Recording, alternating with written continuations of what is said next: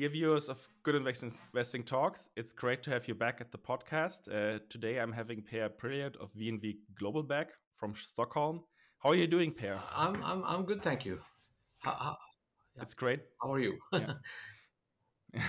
I'm good too. A lot of work uh, this autumn, but uh, I think we feel the same uh, as we already said in the pre-talk. Um, yeah, um, Per, uh, it's interesting to have you back. Uh, it's it's also great that you came because for you as an investor, it's not the like the easiest climate right now. Uh, the stock is also like uh, down a lot from the peak. Um, maybe let's let's try to look back in the past. Uh, if you're running VNV for quite some time, and you have this this huge drawdowns, um, have they already happened in the past? And have you experienced something like this already as an investor?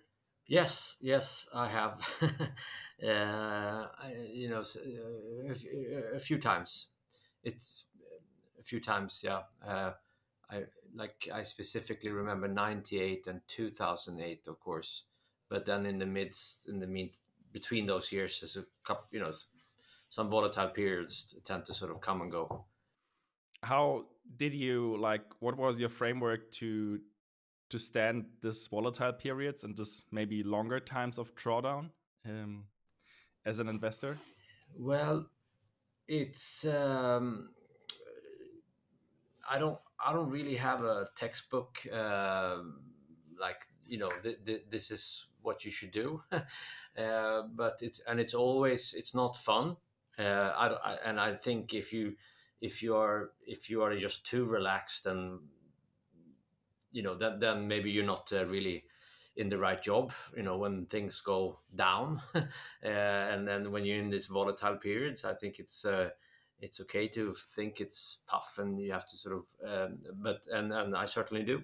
And uh, and it's not um, it's not uh, and it's in the same sort of manner as these other times. But uh, but I think um, I mean now like before I believe a lot in the portfolio uh, that we have and so uh, so that gives me confidence that um, you know, um, it may be sort of a little bit stormy outside, but uh, if you believe in what you have and what you do, then I think, uh, you know, you have to just press on basically, and things will turn as they always do. It doesn't feel that way when you're in sort of the dark, uh, but you know, what's it's always darkest before dawn.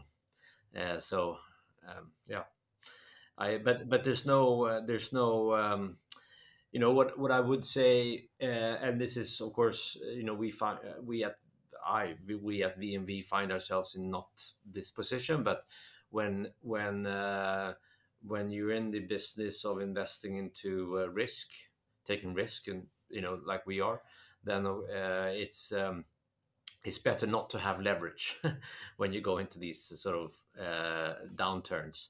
Uh, of course, we do have leverage now, and and that's uh, something that we work with a lot, uh, and uh, and intend to sort of delever and, and and pay back the debt we have.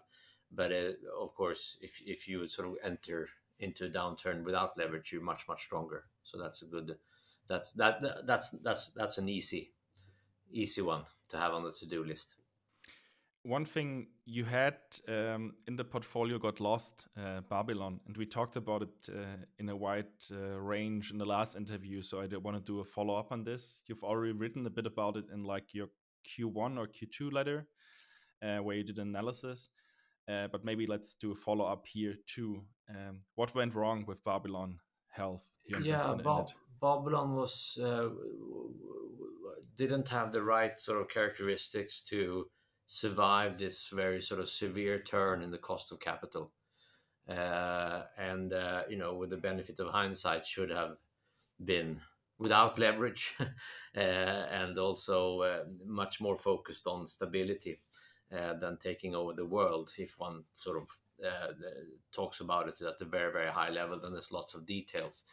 but but that's the essence of it. That it's um, that it it went into into this sort of different climate of markets uh, with way too little protection for those rainy days, uh, and and and was uh, much too much um, uh, in need of uh, of uh, call it cheap money or a low cost of capital. And then when the cost of capital normalized, it it it didn't have enough sort of staying power to sort of get its get its its company in order. The product, I'm sure, I mean, or it will, is the future of healthcare, uh, but it's just not. Uh, it wasn't possible to, for this sort of format, this company to to see it all the way through.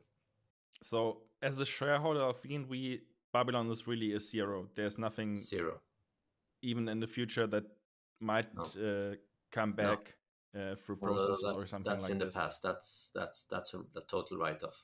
What did you change based on this experience? Well, I tried to sum it up in our Q2. Was it? I, I, I well, different things is that it's okay to lose money uh, when you, when you're in a growth period when you're building the company, but it's not okay to sort of hemorrhage money, as I think is the way we phrased it.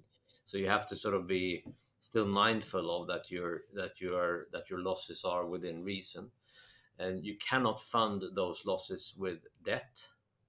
It's also very important. Losses like that should be funded with equity. Otherwise, when market turns, like this time around, the debt holders will own the company. Um, other things that are uh, important here is that uh, for, for as you know at the at the company level is also that uh, governance should be more straightforward. Accountability is very very important. Now there's this is this is this is nothing, you know the. I, am not insinuating that um, anything sort of evil was done here, but um, but I think it's much much better situation when there's one share, one vote. We have still have things out there, but Babylon was had super shares for the founder, which which was not helpful in the end. Um, and then I think the, uh, the, the, we invest a lot into founders and try to give them support to to build new products and new companies and, and etc.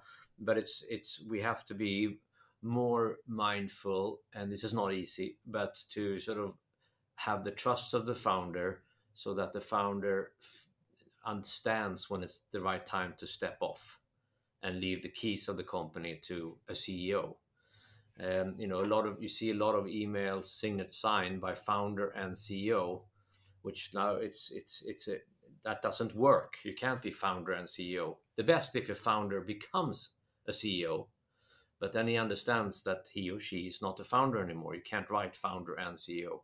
It's a different mentality, it's different mindset, it's different risk taking, building teams, listening to people around the table, etc. So, so that's that's one another very important thing.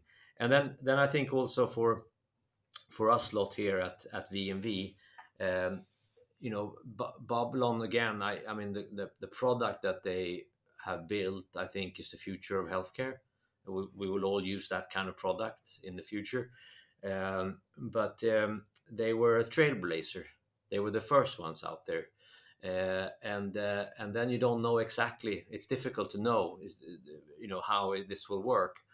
Um, and uh, and um, like when we built or were part of building uh, Avito in Russia in, in, the classified space, this became a very large company. But we could always look at you know how this business model worked elsewhere because there were other people who'd done the trailblazing. So when when you're in trailblazing mode, it's we we we don't have we we need to sort of manage how much we put into these sort of risk situations. Uh, and and uh, with the benefit of hindsight, we of course uh, I, I, invested too much into Babylon. I believed in it a lot. I was wrong, um, and in the future we need to cap how much money we put into these things where we don't quite know uh, how how how the future looks. We want to do those investments because they of course provide they have the capacity to provide sort of a um, an, an, extra large upside, uh, but um, but you know, then with Avito, what was that, 34 times the money? It's enough upside. uh, so, yeah, I think you see what I mean. So, there's a couple of learnings like that, uh, both for how I run VNV and how you allocate within the portfolio, sort of to to we i mean we're about taking risk and we do that but to take uh, some kind of risk we need to still cap and then also some some learnings on uh, around or, or, or, you know some you know, it wasn't as if we knew it before, but some things to remember on on uh, when you're present at the board level, for example. Uh, that um, yeah, no debt, not too many losses, accountability, no super voting shares, um, and, uh, and and and try to help the founder become a CEO or or let or, or hire a CEO. I think those are the those are the the the, uh, the lessons, and then of course, you know, if you do take risk, you uh, you will lose some. You will. I mean, and then of course it's you have to remember to to to to uh, you have to try to take risk again. Uh, and uh, and not uh, not not make it so afraid that you you stop. Um, that's that's another big lesson. Uh, so anyway, I'm rambling on. Um, I don't know. No, it there's a good point to to ask further uh, about portfolio construction at VNV. Like, is there now a rule implemented that you say, okay, with a certain characteristic, this portfolio position can't go above a certain threshold? like you you have let things run and it was a good experience with Avito. you mentioned it, but uh, with some companies that aren't like that mature in their business model and where you can like have more certainty about outcomes, how will you go about portfolio construction then? Yeah, no. So, so, so, so, with the benefit of hindsight, it's always easier to trade with you know when you look in the mirror. Uh, but uh, you know, I think the risk reward of Babylon was still very investable, but for our size of company, we should have invested less money. Uh, that that's the uh, that that's the lesson, right? And that and that and that and that's uh, that's something that I you know that's a scar that I'm gonna like it's gonna start to hurt when I and uh, and remind me uh, when we're when we're in the same situation the next time. Um, one thing that comes up in your conference calls and is the right refinancing of the bond. So you have two bonds outstanding. One is uh, covered by the cash you have at yes. the moment, um, and you're already buying it back with a discount, which is uh, not the worst thing to do. But the other one, uh, there you're planning to sell assets, and you have like we see saw it with rising interest rates that the prices of the assets you own is really tied to the interest rates that went up. So looking at the bond, um, was it in hindsight too aggressive to allocate capital like that? Um, or yeah, how do you would you weigh it? Yeah, so so one thing to to to just to sort of remember is that we or we our financial strategy is not to have debt right we and we don't use debt as a way to sort of juice up our returns we think we we have enough upside and return potential in the portfolio sort of outside of of, of leverage, uh, financing it with leverage. Um, we used we we've used that as bridge as a bridge to an exit, sort of not to raise equity capital if we have some new investment, uh, and instead bridge the funding of a new investment through through some debt, and then pay off the debt with an exit that we have high confidence in. Now those exits um, that we uh, had as the rationale to have debt, uh, of course, were you know did not materialize uh, because of this big shift in the market that we've had. So now we now we have the debt um, and have to sort of be more constructive and active around managing these exits. Um, and so yeah, we so as you say, we have two bonds outstanding. One smaller one, which is due in June next year, and that we're we have cash and we're we're we're, we're buying it back in the market if if it if it's if there's some supply available. And then a slightly larger one which is just north of 100 million dollars uh, which is due in January 2025 and, for, and then the intent is to pay that bond back uh, and and to do that we have to fund it. And and and the, and the plan is to to to perform some exits in the portfolio. Now from a distance that may look like how how is that going to happen? The, the, world is very dark and and it's you know uh, it's, it seems from a distance at least difficult to to sell uh, um, uh, assets, especially also if you have the view that our assets are are of a startup nature and not profitable. So two things there is that uh, 70% of our portfolio is now EBITDA positive, which is up from some 40% in the beginning of the year. So the portfolio is more is much you know from a profitability point of view is much more attractive i'd say. It's not that you have to fund it to live every day. Um, so so that opens up uh, potential sort of buyers.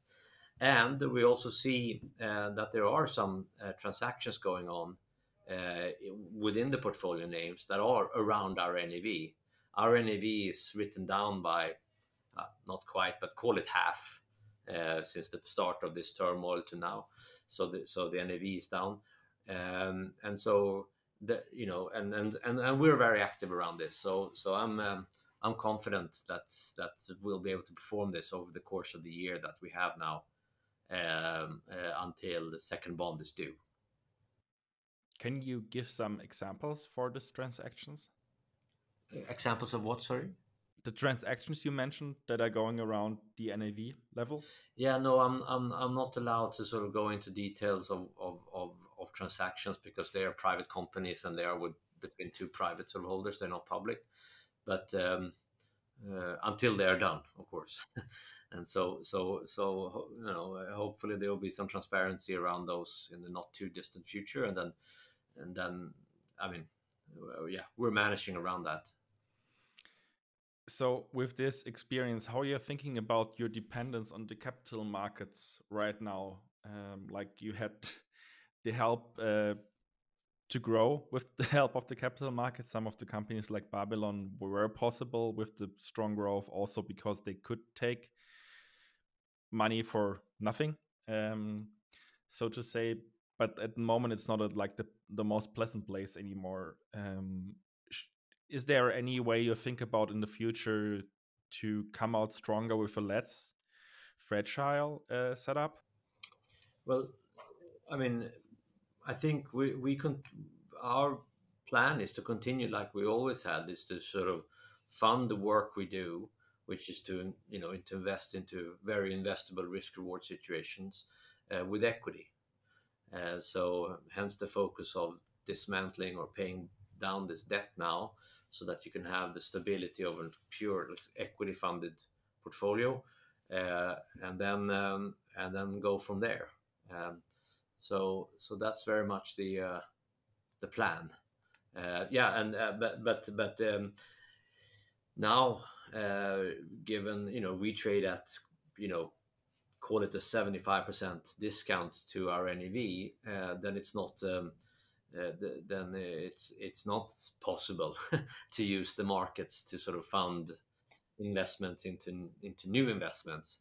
Um, I think I think I, I, can imagine that part of the reason why we trade with this kind of a discount is because, is because we have the debt. So once once that's behind us, then then um, then uh, I, I, I, you know we, we, should trade at least more constructively. Um, but um, I think uh, it's a it's a very uh, the pricing of our stock in the market versus the NAV I think is a very very very clean uh, or quantitatively sort of clear picture that the markets are pretty much closed now for new risk investments. I mean, and, and and for us for sure, you know, in good times and in bad times, we always compare a new investment to our own share price uh, because we always have the opportunity to buy buy our own stock. And so, um, you know, right now, uh, I I also literally see nothing that is as well, you know, attractively priced as our own stock. So even if we even if we had money, basically, it would be very difficult to motivate oneself to buy it uh, when you have the alternative of buying your own stock at a 75% discount. I see sort of stuff going on around, as we spoke about, around the NAV, but it's it's um, because the uh, you know at that sort of you know we we mark our NAV according to market. So so say the market is you know is, is where our NAV is placed, but um, uh, that's uh, that's not interesting for us because we have this alternative. Now we, of course, you know, as I think we've spoken about in the past, and and we certainly have shown a lot in the past. I think you know we we have been very very active in buying back our own stock. Now also with the debt outstanding, we're limited to to to making dividends and doing share buybacks.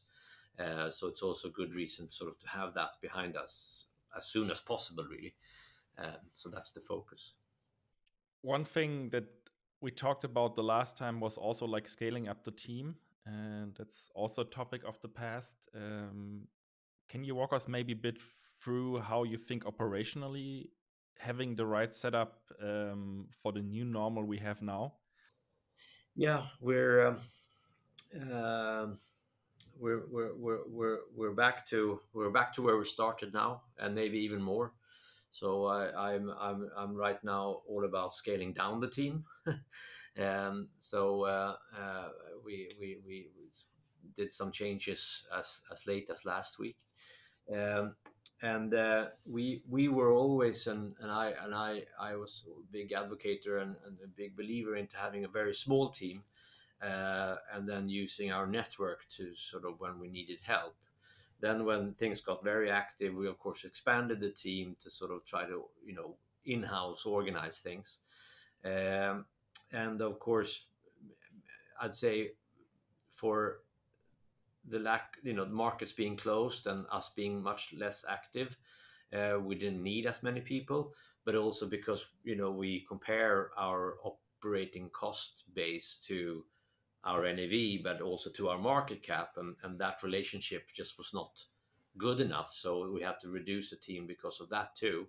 And then finally, it's also good learning uh, for me is that uh, it, there was good reason why I wanted to have the team small. It was, you know, I I think it's more effective for an organization like ours if we concentrate on our investments instead of running people. So so that's for all those three reasons. Uh, it's it's now we're now now back to being a much smaller team again, and uh, I, th- I think that's for the better.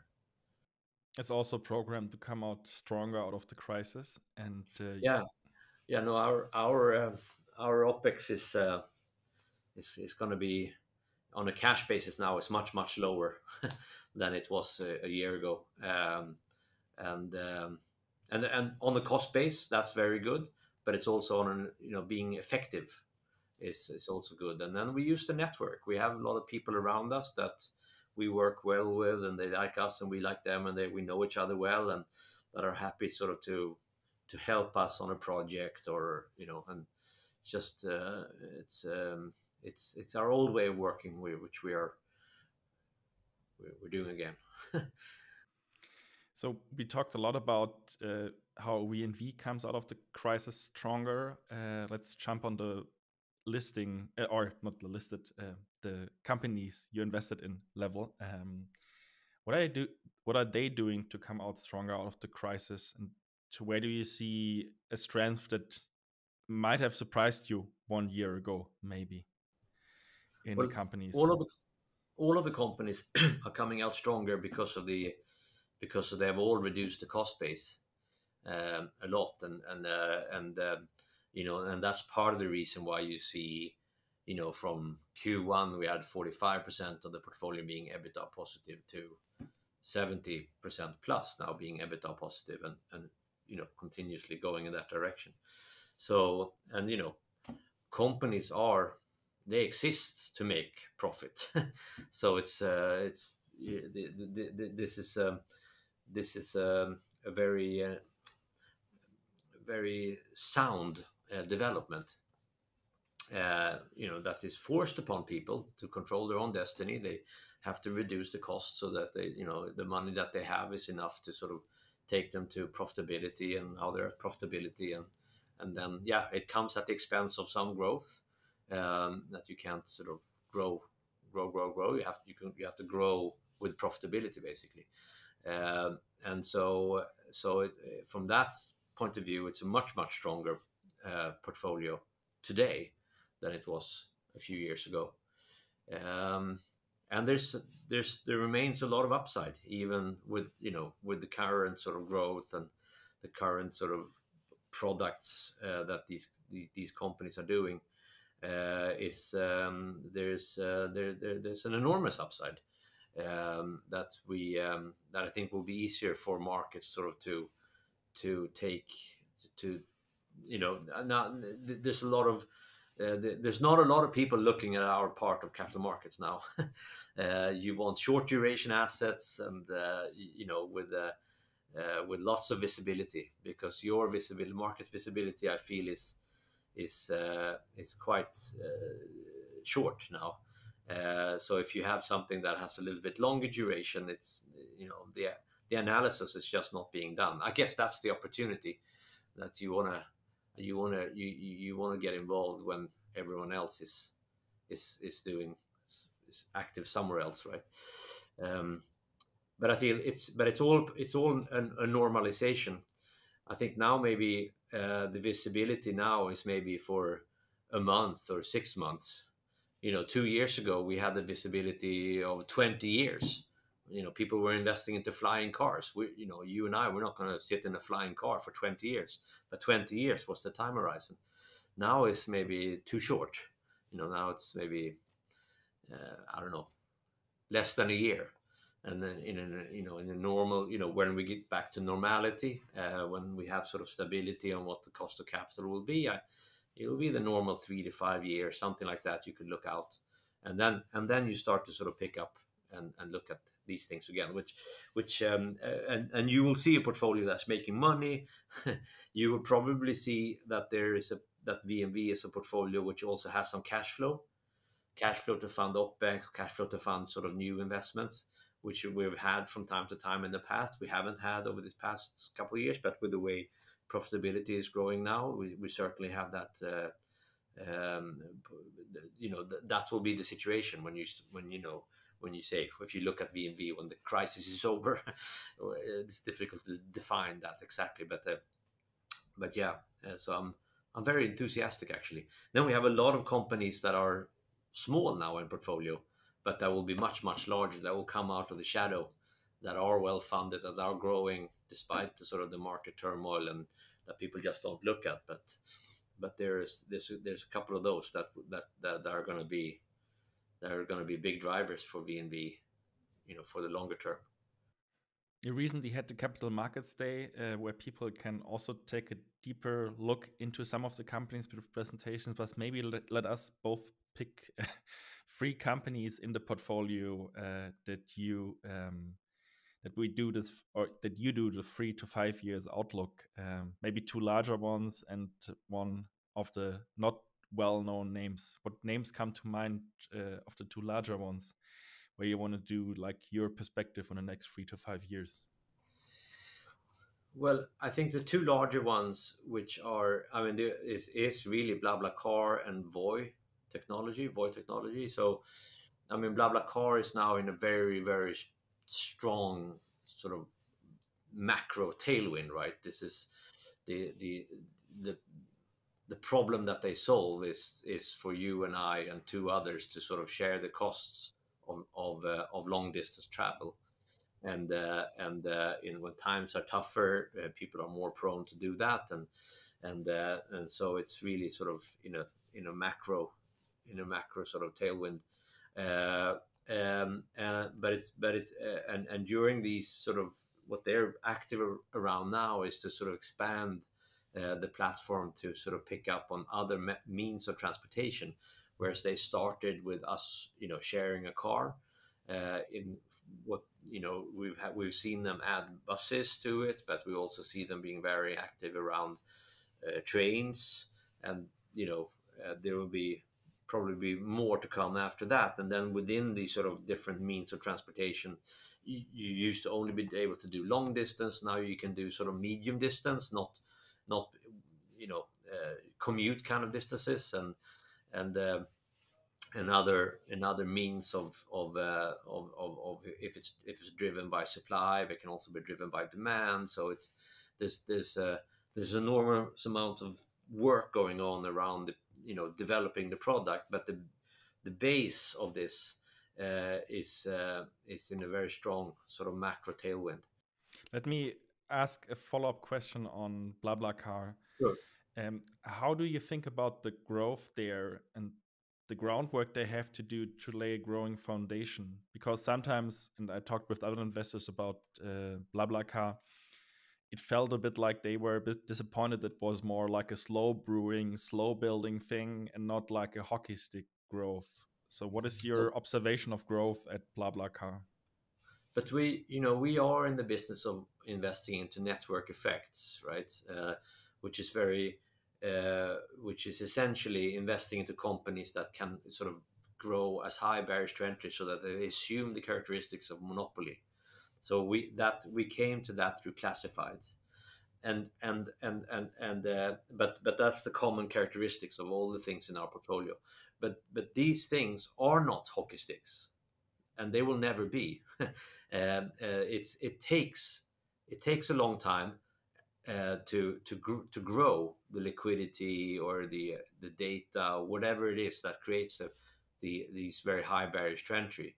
Once you've grown to a certain level, then you can start to charge. Um, so it's like a flat, flat in terms of revenue, and as a financial analyst, uh, we'll see flat, flat, flat, flat, and then suddenly a big jump as you start to monetize, and then growth. So it never becomes like a hockey stick. I don't know what that is. It's something else. it's another curve. Um, but so um, when you compare it to, for example, uh, e-commerce, you get much more hockey sticks, right? You you do some work and then you spend money, marketing, and and the thing sort of starts to grow. Uh, but what's what's hidden behind that, you know, ho- hockey stick is that you have to fund it with marketing because barriers to entry are very low, and you have, you know, and it's brand, and you have to fund the brand, and you have to be very active. So that's hockey sticks. There's a lot. There's more to the story than just the hockey stick. Here, it's that you you you you you uh, you have to sort of build liquidity. Supply is when when supply is small, demand has to be equally small. Then you can grow supply a little bit, and then demand can grow a little bit. But they always have to be matched. If you have too much supply and too little demand, then the supply won't get sort of they, it won't meet, you know, and then then it the whole business model falls away. So it's by nature uh, something that that grows, uh, you know, at a, at a, at a in, in a slow way. But once you have reached that sort of level of, of, of this of big enough distance to your competitors, then barriers to entry are wonderfully high, uh, and and and then it becomes very valuable companies. So so um, so but it, but it, but for us financial analysts, you it's it's frustrating because you you don't see it.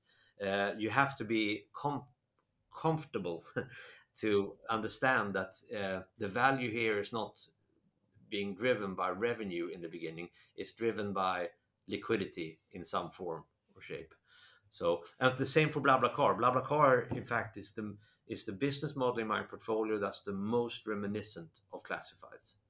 It's now super fragmented demand, offering into super fragmented, um, you know, demand versus supplies. This it's very high fragmentation on both sides of the marketplace. Get liquidity in the middle of that, and it's I would I would even say unpenetrable uh, um, uh, sort of a barriers to entry.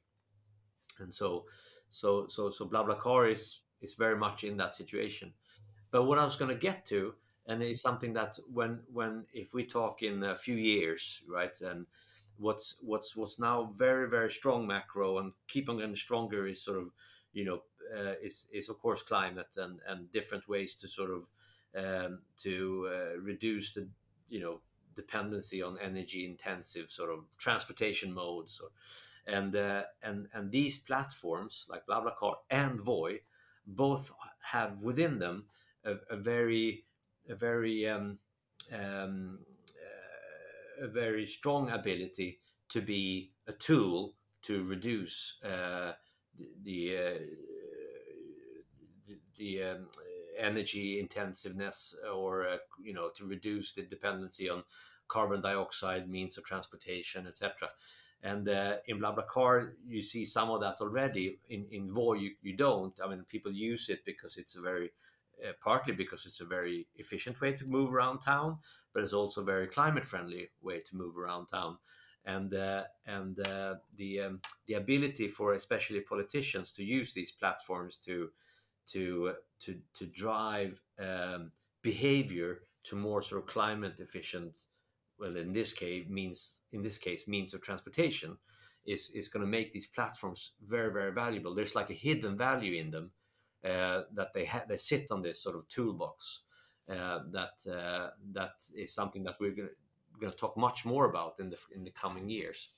Um, now we invested them into them because they are network effects the product that they deliver becomes better for every new user that uses that product. They both check that network effect, you know, rule of thumb that we look for first and foremost when we invest.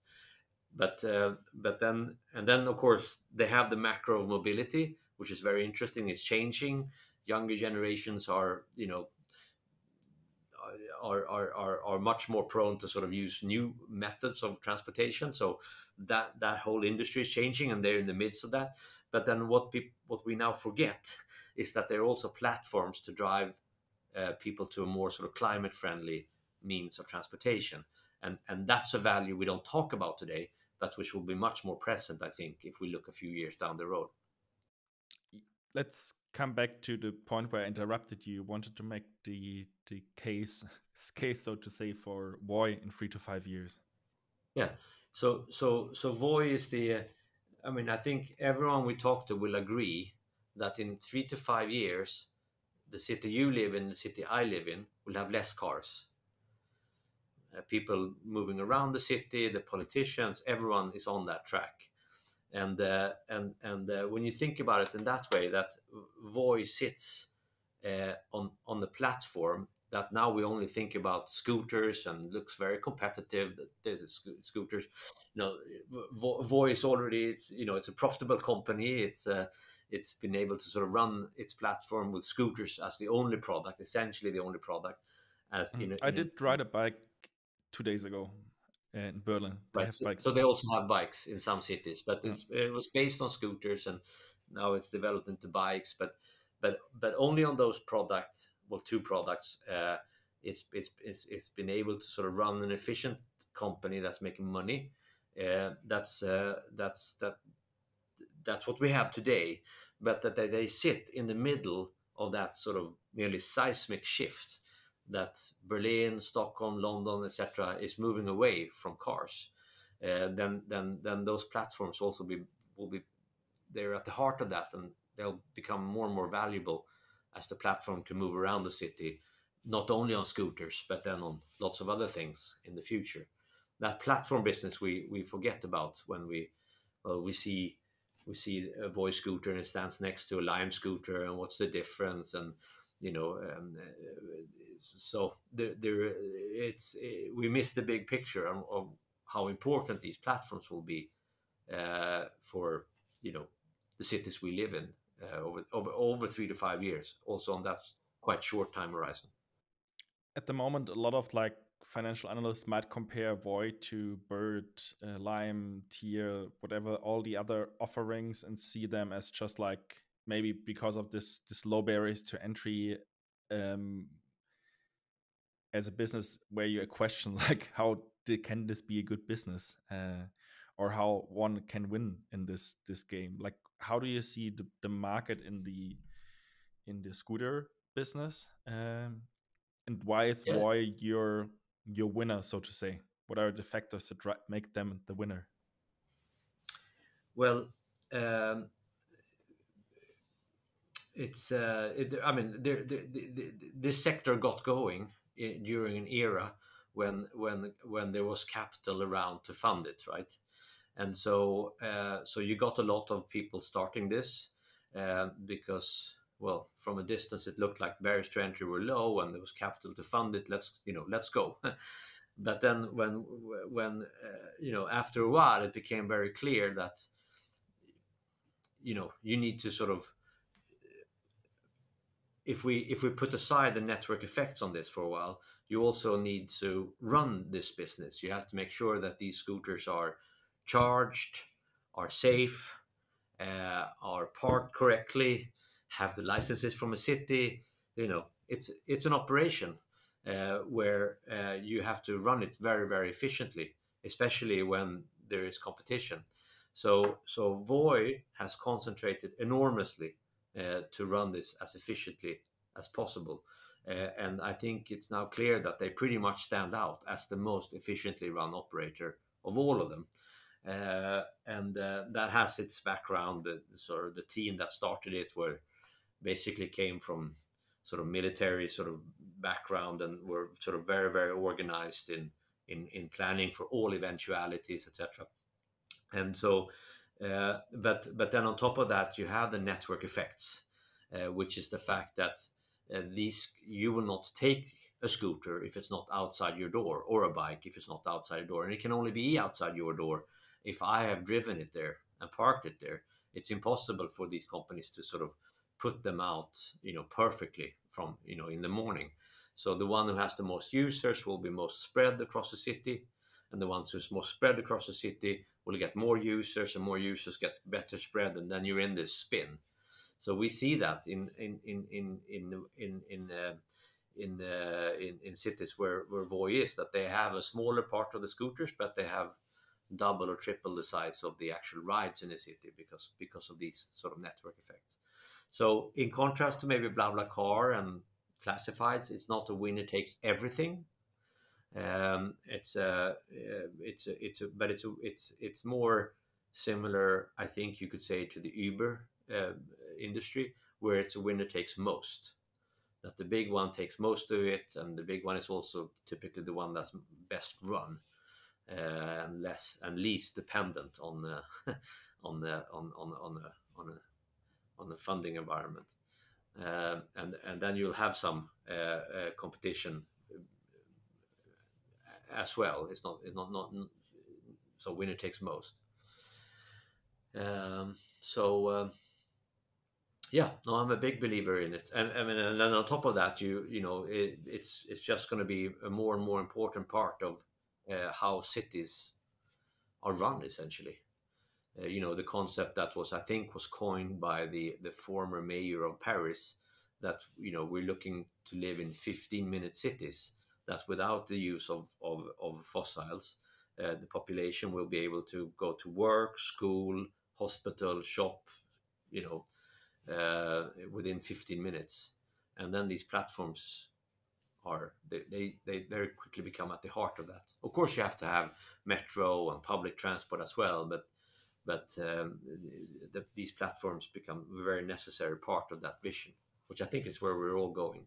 You've you've dropped the idea that they might uh, add other categories like or other modes of transport, not scooters but also bikes. Um, is no, there no, any... we didn't no, we they have it right. I think yeah. you said that you you you you you rode a Voi bike, so they have electric bikes in some cities, not in all cities.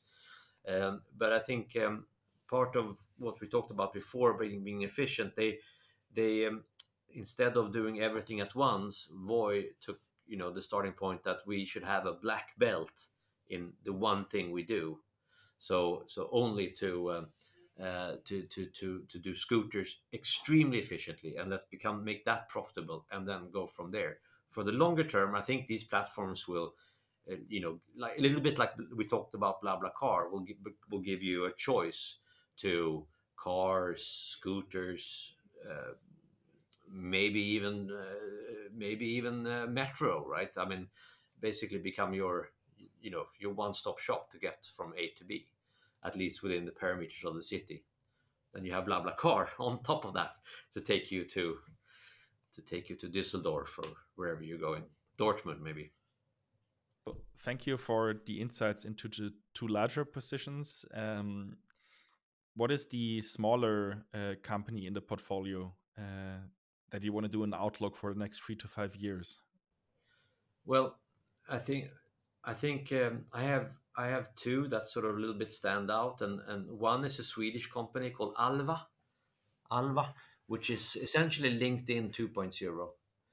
So you know the way we sort of match a job with a, an employer or, or a job with a job seeker today is, is basically based on a CV. So LinkedIn does that quite efficiently. It sort of has the format of a CV, but a CV is quite a crude way in how to sort of match people uh, with jobs and, and you know and, and, people running companies with with with with with with, uh, with, with employees. future employees. So Alva's product is basically, you could say, in a crude way, based on a personality test, uh, but in a you know in a very sort of digital format, uh, and it allows their computer to do the matching much much better. Um, and so you could see you see that essentially uh, evolving into becoming the marketplace for the supply and the demand for jobs in the future. Sort of a just a a, a new way of doing that, uh, and uh, and uh, and so so they've set it's a, it's a rather young company. They are they're widely used in sort of in in in in here in the Swedish context, but uh, have ambitions that are that take them well beyond Sweden, first to Europe and then elsewhere. Um, Swedish founder and uh, and now the also a, a, large owner, but also the COO is, is, the guy who used to run Avito in Russia. Swedish guy uh, came from consulting into Avito, helped build Avito, then came home, did some investing for a while, and now uh, has taken his sort of operating uh, skills to sort of run this company. So I think Alva is one of those. It's it's it has high network effects it's a very digital product. Of course, you know when times are you know now people are not recruiting as much as they did maybe a, couple of years ago, and but you know the, the, the cycle always turns.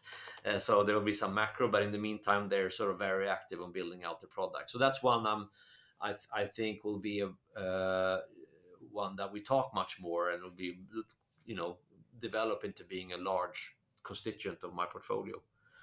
Another company we have uh, that I think also is is is, is uh, on on route to becoming a large part of the portfolio, especially if we look on a three year time basis, is an Israeli company uh, called NoTraffic, which uh, uses the aggregation of data to manage traffic in a city, very much centered around traffic lights. So one at least my view, my sort of perception, and I think many people share that, that traffic lights were were quite sort of efficiently run.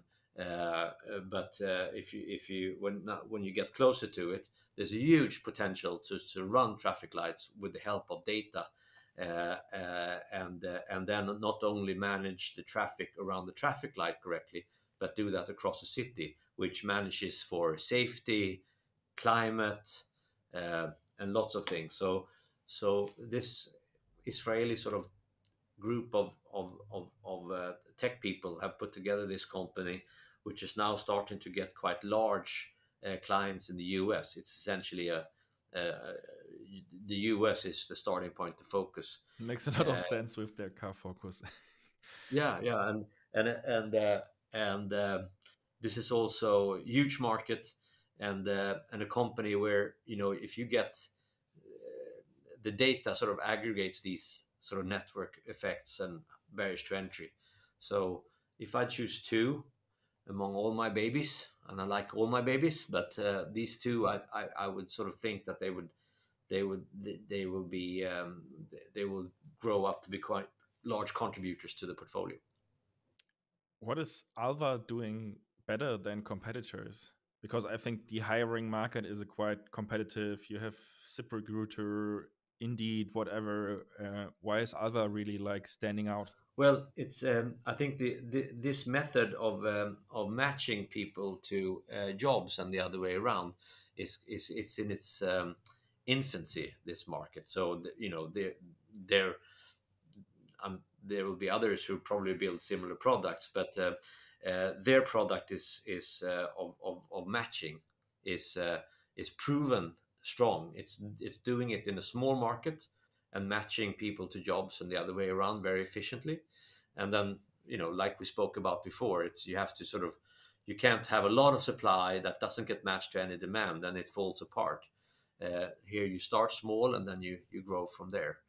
Um, and and and then the product um, if the product doesn't match well it dies right so this product matches well but it has to has to sort of start small. uh, I think competitors are uh, also the big ones are, are come from a, a his, historical world where it's much more matched based on the CV that I've done this course or I've had this uh, you know this work experience and and then you know it becomes not a lottery because they add some value, but it's mm, you know you don't quite know. Here is like a much more complete picture that the the algorithm sort of understands and has and that can understand you know what Tilman uh, you know your your exact qualifications from in, in in a much more sort of holistic way uh, and it can understand that because it's done it so many times before and then that data helps it become better and better uh, so it's it's it's a it's a data. I, I, see it as a data play. So you have to have the algorithm that matches well, but then it matches better and better on the more data it has.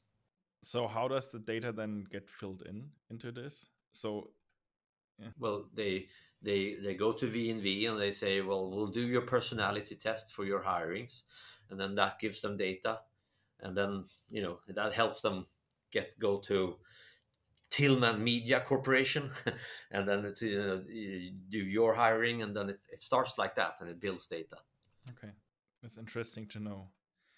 Um, let us jump back again to the uh, holding or the VNV level. Um, how much room for capital allocation do you have at the moment outside of focusing on, uh, yeah, paying or buying back the debt? Well, well, that's our focus. Uh, uh, but I always say that you know if we if we find an investment that is that that is you know attractive enough, uh, we, we we will we will we will find a way to do it, right? So uh, we and in fact we we did have such an uh, situation uh, earlier this year before summer. There was a there was a seller of shares in BlaBlaCar that was not at all sensitive to the price. They really needed to sell, and so we um, uh, we basically felt that the pricing of BlaBlaCar was attractive even to our own stock price. So we went ahead and we did that. We increased our stake in BlaBlaCar at a price that we thought was was uh, well, it was you could call it semi distressed. Uh, semi-distressed seller.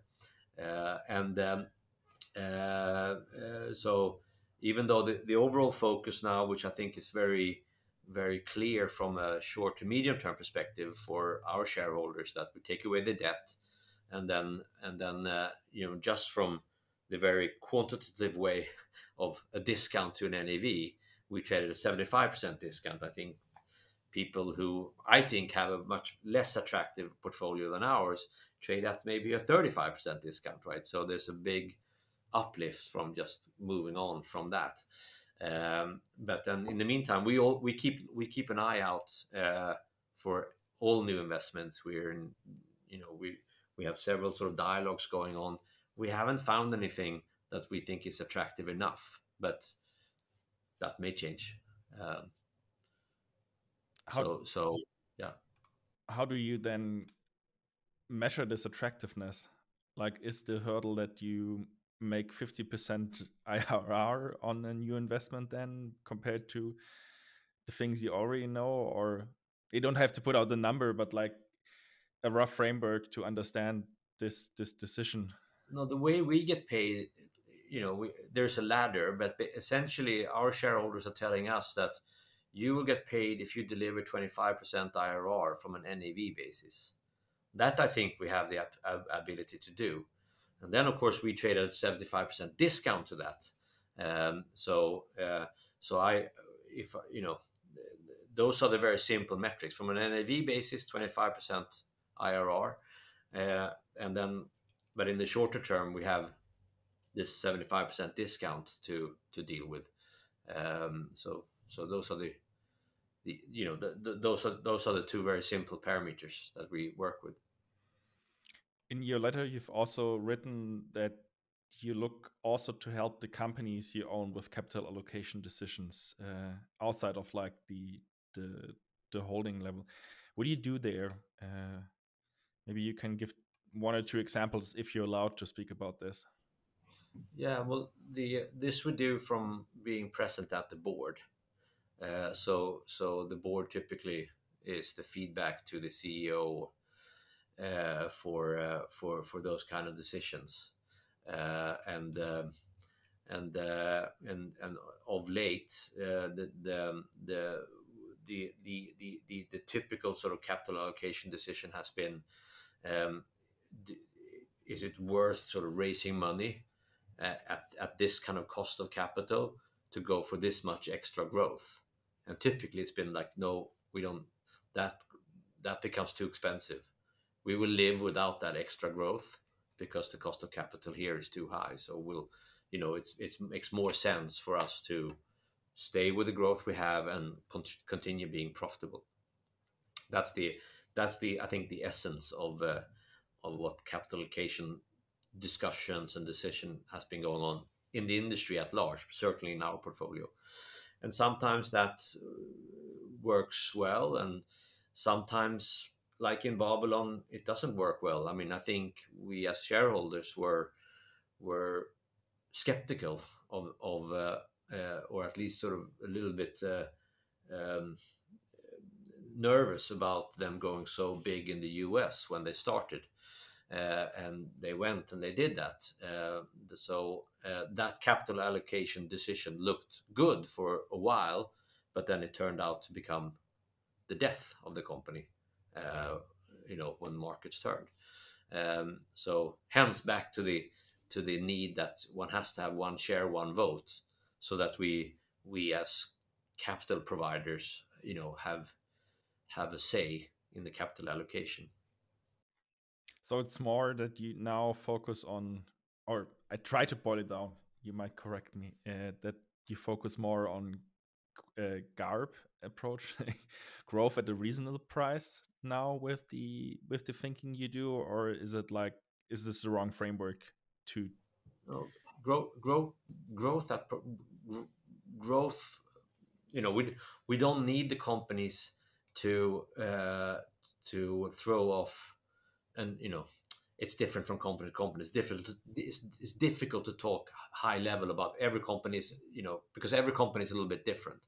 Some companies are in our portfolio are now getting into the phase where they will be dividend payers. They have growth, barriers to entry are high, earnings will grow faster than revenues, and the and but it's not worth reinvesting into uh, you know all of the profits, so they will provide a profit back to us. In some other companies, it's it's maybe not worth sort of raising money because the cost of capital is high, um, um, but we also don't need them to sort of make a lot of profit. So you can you can make you can make just profit and grow and grow grow at the maximum speed that you can under that because there's still a lot of market share to turn to, to make and then and then and then you can sort of start to raise money or be even more aggressive around growth when the capital cost the cost of capital becomes more reasonable uh, uh, at some point in the future. Um, maybe for the end, let's jump on the meta level with you or another level with your shareholders, because I think uh, looking at the shareholder base of VNV, there was a larger rotation uh, happening, and with the new shareholders, what are expecting they they are expecting from you compared if you have the chance to talk to them compared to the uh, past shareholders, because for them it was more, um, yeah, maybe that we might have been a part for their VC exposure in certain geographies and the new shareholders, what are they expecting from you? And could this allow uh, a different kind of setup at VNV? Maybe also thinking about paying dividends as a holding to the shareholders or something like this? Um, yeah, that, I th- I, you know, our, our largest shareholder has been the same now for I see it's close to a decade. So it's uh, I think uh,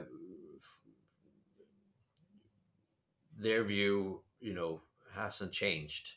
You know, it's it's for you know we we you know they I you know I, I'd say that they own us to continue doing what we're doing, is to sort of be, you know be part of building companies with very high barriers to entry, uh, Avitos, BlaBlaCars, Vois, etc. Uh, uh, and uh, we have one new shareholder, which is number two, which is nearly as large as the largest one, but and they have built their position since the summer of 2022, essentially. Uh, so they started buying then, and now they own just under 20 percent. Uh, and also, and this is a Swedish family uh, who is um, who's been active, you know, um, you know, is very active around the Swedish financial markets, both in that they own one of the larger fund managers here in, in Scandinavia, and they also own the largest uh, stock trading platform, like the Swedish or Scandinavian version of E-Trade. So, the, so they are the largest shareholder of that. Those are the two sort of big ones, and, and now they own us uh, as well. And, and and the family member there, the guy who runs that family, he's also the new chairman of the board here. Um, but I think we, you know, uh, so the the shift is maybe to sort of more of a family uh, holding structure, which is probably a little bit more lo- long term and a little bit less sensitive to the to the flows and ebbs of the market on the shorter term, typically. And and I think that they really built their stake from uh, sellers who are, like you said, are technology funds or you know um, uh, funds that are exposed to sort of the digital world in some ways. But these funds have also are um, have uh, uh fund investors uh, that have wanted their money back, uh, and so they have been selling in the market to fund their outflows.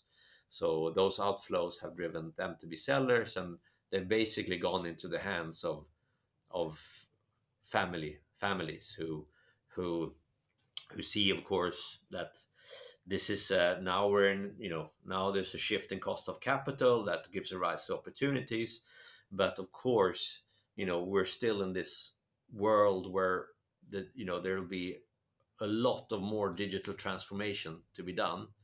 And if you can sort of be exposed to that within the concept niche of these very high barriers to entries that kind of business model that's that sort of that combination is very interesting. Uh, i think we're all in agreement uh, that um, of the financial strategy we have that which is not to uh, fund this with debt. Uh, and um, and uh, and so so we're focusing on, taking out that debt. Uh, of course, we I think we're also in agreement that it would be very good to have one of our companies evolve into a dividend payer, a little bit like Avito was the last years before we sold it, and then that you know like Avito, I think we got 13 million dollars in the last year we owned it, which funded both the opex and it funded our first ticket into Voi, and it funded, you know, it, it, it funded, a, you know, it can fund both OPEX and then a, co- a couple of new investments. So um, that that's uh, that's more difficult to plan exactly when it happens. Uh, but uh, I think we have a few good sort of cases in the portfolio that will develop into those type of situations for us over the next period here. That's just like a scenario and maybe we can talk about something clearer in the next interview we do because with this interview i have asked my questions. But for the end i want to give you the chance. Is there anything you want to add? We haven't discussed or you looking back at the interview find like interesting to outline again? Uh, I think we've talked about you know the, the, the I think we, we, we talked about BlaBlaCar and Voi, which are of course two very important positions, and then the, the barriers to that they can build. Talked about some of the examples of the stuff that's going on in the portfolio that we never talk about, and and those uh, those and you know in the same way that Voi was in the shadow of Avito, you know Alva is in the shadow of Voi now, and that will change. Uh, um, I, I, I think it's we do a lot of work and and I feel very confident that we will be able to sort of you know uh, sell some assets and pay off our debt. That's not done until it's done. I know we've talked about that. This is just me helping myself um, see if there's anything we've missed to talk about. But I think that's the main reason why we traded a 75% discount to an NAV that's you know quite very very fairly priced. I think is the right way to phrase it. Um, and um, yeah and then you know we talked about four companies we have call it 70 so we got another 66 to talk about but that's that's um...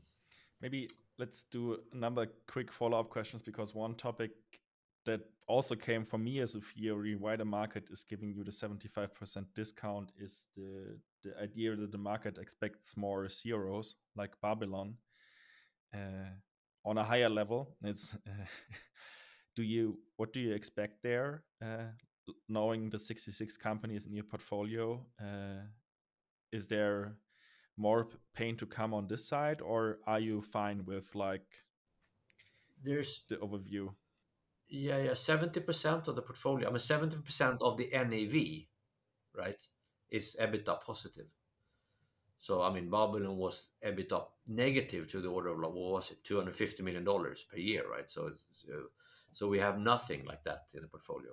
There are some younger companies uh, that that that won't make it, and we've probably written them off too. But they're like very very small in the portfolio, so the number of names will be reduced, uh, but it doesn't give so much financial impact so uh, like like of course babylon did so so no the, no that fear i understand and i have sympathy for that fear uh, being there uh, especially if you look at us from a distance like you're not so focused on this it's technology it's long duration assets now the market is doing something else so i i have sympathy that people don't really study it closely but if you do if you come closer and you look then you see that that that is not uh, that is not uh, a good reason for this discount.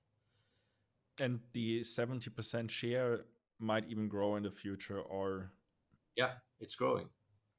It's growing so then thank you very much for the interview. And Thank you very much for your time. It was very insightful and uh, I hope next time we have some brighter topics to discuss because I had brought some harder questions as well, but uh, no. that's the time no, no, it's great to talk to you, Tilman, and, and I think it's uh, well, it's in these times. I mean, if you look back to, you know, buying my stock in in January, if we are if we are now in like the the the first quarter of 2009 or something similar, in the first quarter of 2009, it was difficult to see what was going to happen, but that was also the very low point. The same if you went to the autumn of 1998.